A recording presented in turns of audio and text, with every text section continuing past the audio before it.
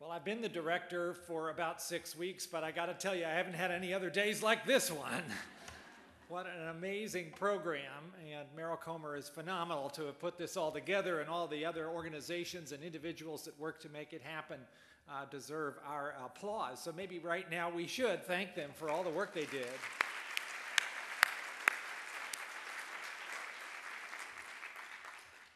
I'm very excited about the scientific opportunities that lie in front of us. And now, standing at the helm of the largest supporter of biomedical research uh, in the United States, I can see those opportunities really in front of us in ways that are breathtaking.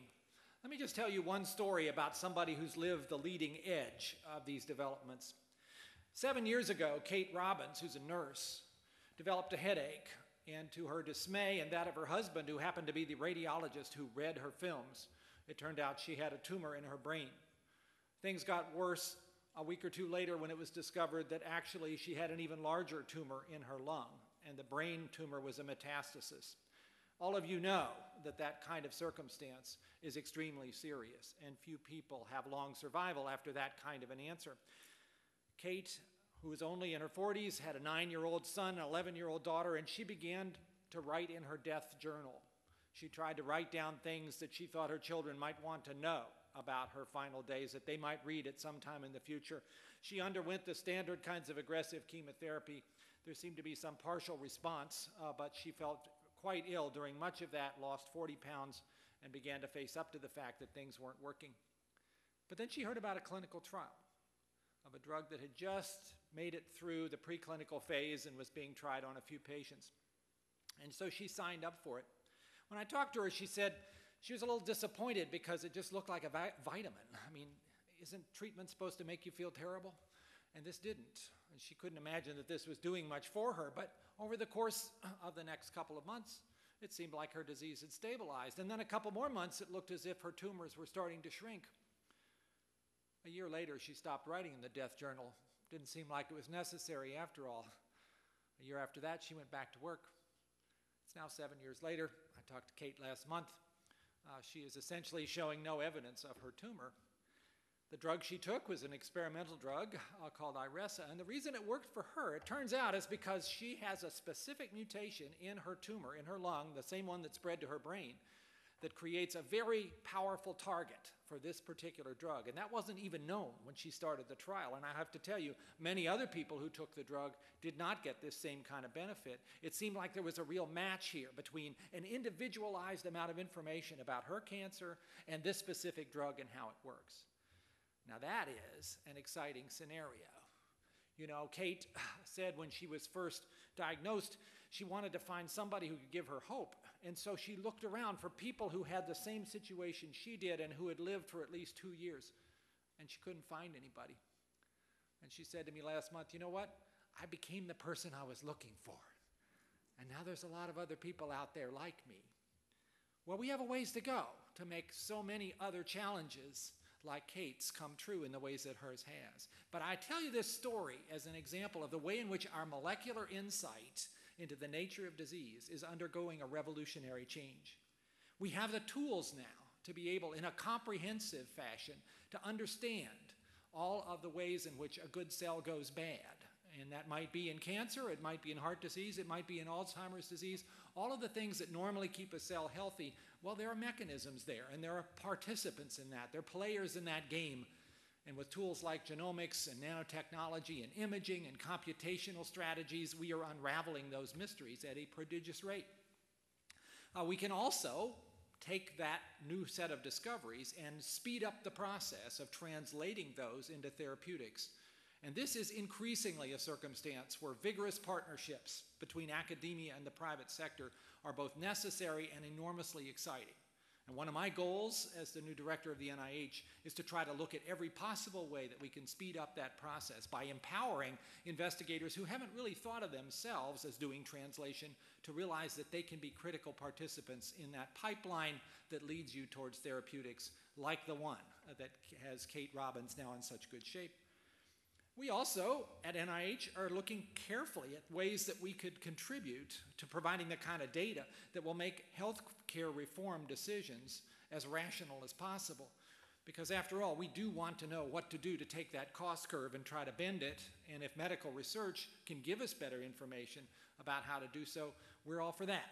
And so we are spending a fair amount of our own efforts uh, trying to identify new directions to go uh, to try to improve the way in which we can inform that very critical national debate. So imagine, if you will, a time where we do have targeted therapeutics for most cancers that can be matched with the individual tumor, just as it was for Kate. Imagine a time where heart disease can be treated using stem cells to repair damaged heart muscle. Imagine a time where we have a vaccine for influenza that is universal. You take it once and it covers all of those strains that might develop in the future instead of our seasonal rush as we are now with H1N1 uh, trying to beat the, the race uh, to the uh, pandemic. Imagine that we could actually discover all of the causes of autism the genetic factors, the environmental factors, and understand why this disease is growing in frequency in such a frightening way, and understand what to do about it. Imagine, as you heard from Tony Fauci with this exciting news today, that we could stop the HIV pandemic, that this would be a scourge that people would write about instead of a scourge that's all around us. Imagine that we could come up with more effective treatments for malaria, perhaps even erasing that disease from the globe. Those are not pie in the sky ideas. There are scientists today who can see the pathway forward with those efforts and are working vigorously to make them come true. And boundaries between diseases are being broken down as a result. I loved what the Congress people said when they had a discussion about the idea that supporting disease in one area may actually benefit it in another. And that's a message I think that all people who are advocating for medical research uh, need to hear. That if you want to see a cure for cancer, well, you probably don't want to just focus on cancer research because the answers may come from somewhere else. And the more we understand the molecular basis of disease, the more we understand that our descriptions, our boundaries between diagnoses, aren't all that rational when you really begin to understand what's going on. So the uniformity, the need for that kind of uh, integrative, cohesive approach uh, to understanding health and disease has never been more compelling on a scientific basis. And I would argue it also makes a better case if you're trying to support medical research to get all of the groups together and say, we need to do this in a comprehensive, uh, uniform, unanimous way, and not end up in a circumstance where you have one disease battling against another for limited resources. So the opportunities are fantastic. And yet there are clouds on our horizon. And here we are in the Capitol Visitor Center. And of course, the thing that's on many people's minds that we've heard about today is will we find the support for this kind of medical research to enable it to go forward in this really turbocharged fashion that the science now makes possible? When you look at the statistics of how we're doing in terms of U.S. leadership in medical research, it frankly is not encouraging if you see the way in which uh, the advances in research and development or the filing of patents or any other measure of innovation, uh, we have been steadily losing ground uh, compared to some of our other colleagues in other places. And not to say that it's not wonderful that the rest of the world is making progress. They are, and we should celebrate that. But we, frankly, by any measure, have slipped back a bit. And some of that is on the basis of funding, and some of it is on the fact that young people are increasingly not going into this field at the levels that we, who are scientists who are having an incredible time working in this, would think they would want to. If you look at undergraduates in the United States in science and engineering and you ask what proportion of them have their degrees in science and engineering compared to everything else that's out there, only 15% uh, of American university graduates have their degree, their major, in science and engineering. 15, 1 5%.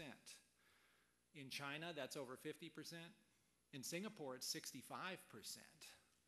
And you can see the consequences if you go to any laboratory today in the United States and look around and see who's there in the training uh, capacity, who are the up and coming next generation of scientists. And it's wonderful that we are, in fact, the place where many people come to get that training. And it used to be then they would stay in our country and work productively for their entire careers in medical research, and we benefited hugely from that. But that is less true now. So, where is our future generation if we can't come up with ways uh, to make it clear that science is an exhilarating opportunity? And that's why this Rock Stars of Science program has been, I think, such a wonderful idea to put forward an image uh, to people who are trying to decide at a uh, potentially vulnerable point in their career decision making. Uh, an image of scientists as people who actually have a good time and who have a sense of humor, we hope, and uh, who can actually make music with Joe Perry. Oh my gosh, I never imagined that you could see that in a video, which you might in a few minutes. So we got to do a better job of that. We have to sort of uh, get rid of the somewhat off-putting view of the scientist as a mysterious geek and put forward something that's more like what those of us who work in this field know to be the case. Uh, people who have passions, people who have dreams of what they might be able to do, people who play music, whatever. Finally, I think the thing that we are probably most uh, in this setting uh, concerned about, many of us, is what will be the support uh, for this marvelous engine of discovery called biomedical research. As you heard from earlier speakers, I think Congressman Markey mentioned, between 2003 and 2008, uh, the, the purchasing power for biomedical research at NIH fell by 16 percent because of flat budgets and inflationary erosion in the, what you could buy with that in terms of training and equipment and so on. We have right now a wonderful moment with the $10 billion that have been given to NIH as part of the stimulus package, and I think actually very justifiable in terms of the way in which that money is both stimulating research and benefiting the economy. And the outpouring of ideas that's come forward from that, which I've spent a lot of time in my first six weeks looking at, is incredible. We thought we might get, you know, three or 4,000 responses to a new program called Challenge Grants. We got 21,000 responses.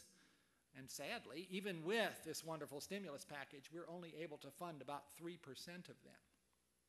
In general, uh, for all of our grants programs, we are unable to fund more than about one out of five. Now, the big question on everybody's minds is what is going to happen when the stimulus package, which is a two year funding effort, is basically over? Science doesn't operate on two year cycles. It's not a 100 yard dash, it's a marathon. When that two years come to an end, which is fiscal year 11, if in fact uh, the support for biomedical research falls back to where it had been uh, before this, then our success rates will drop to something like 1 in 10. We've done that modeling. That would be historically the lowest ever. And just at the point where we see this marvelous opportunity uh, to see medical research go forward at a prodigious rate, that would be truly uh, a tragic outcome. We can make a great case, people, about medical research, how it improves human health. We can talk about how heart disease has fallen by 63% in the last 30 years.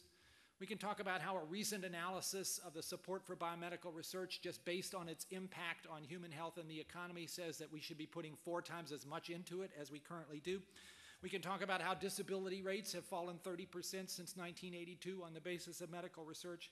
We can talk about cochlear implants, or Herceptin for breast cancer, or Haemophilus influenzae type B vaccinations that have saved 5,000 kids from meningitis and mental retardation. We can tell all those stories, and we should. But I think we can't be shy about it. And I think, again, perhaps in a country where, as you heard early this morning, most people can't name a single living scientist, and most of them don't know what NIH stands for, we've got a ways to go. And so, remember Kate Robbins. Think about Kate and her seven year course as where we could go, and where we need to go, and where we must go for Alzheimer's disease, for heart disease, for diabetes, all those conditions that take lives away and shorten the opportunity of so many people to experience the fullness of the life that we all hope for. We can go there, but it's going to take a lot of hard work. We, the scientific community, I think, are revved up and ready to go, especially this afternoon. But we need the kind of networking of support uh, that we can only achieve if we're effective in working together. So, just like a rock band, you got to have a lead guitarist, and I'm, I'm glad that uh, Joe Perry is the one uh, for our band, but it takes the whole band to make music. You all are the band. So let's see if this little rehearsal we're having this afternoon can lead us to go on tour. Thank you very much.